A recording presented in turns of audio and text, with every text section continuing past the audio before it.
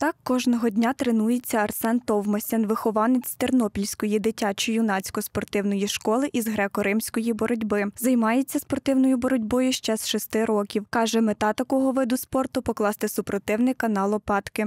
Починається перша розминка 10-15 хвилин, потім е, отработка базова, е, двохбальні, чотирьохбальні.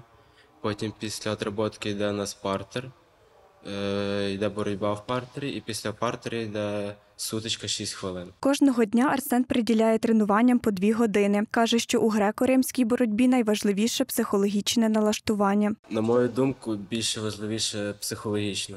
Як ти настраюєшся на сутичку, е, думати, що ти будеш робити, коли е, і, і фіз, ну, фізично теж типу, важливо.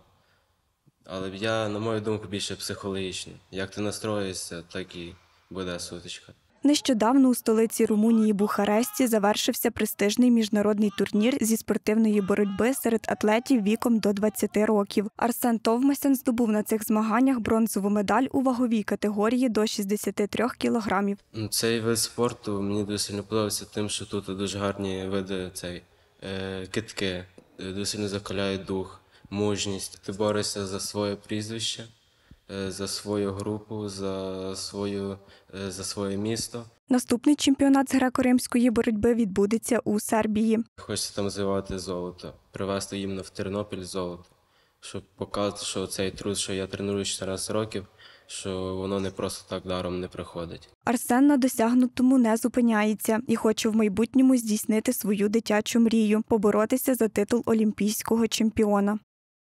We'll be right back.